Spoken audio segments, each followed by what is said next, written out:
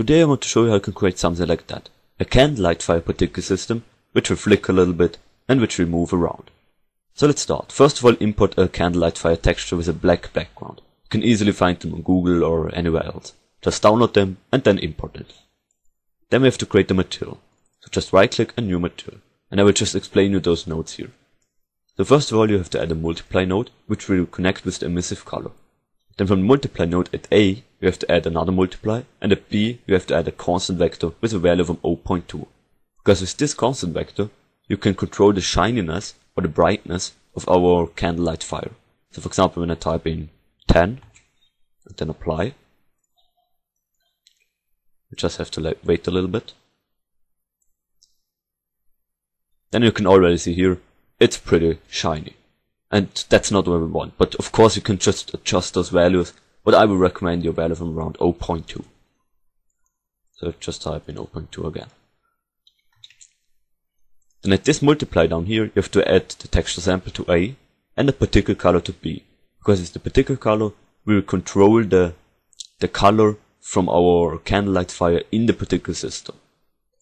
Then down here, I've also added a rotator and a sign because to get this movement here. Okay, wait, to click on to apply first.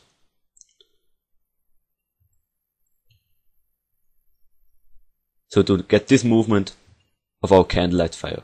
Of course it doesn't look realistic when you're near the candlelight fire, but when you're a little bit far away, it looks pretty good.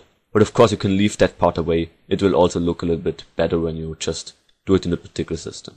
So either you add that, or you just leave it out. But I will add it now. So just add a sign node, a normal one. So type in sign and then add it.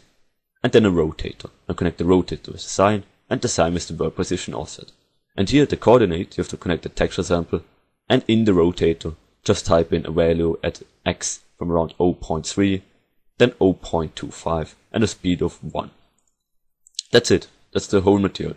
Now down here at the blend mode, you just have to choose additive and the lightning mode should be at unlit. And that's it.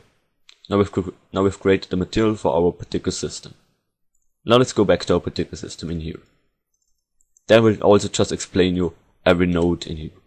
So first of all you need a spawn module. There you have to type in a spawn rate from, our, from around 25.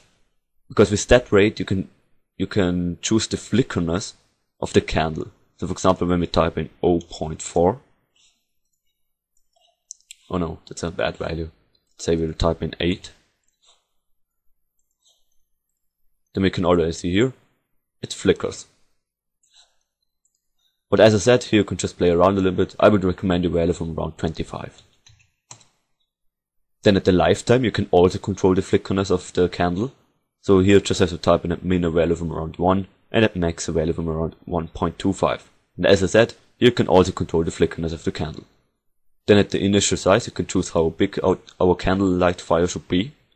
Then at size by life, we can choose the size over the life. So here we can also choose the flickerness of the whole candle.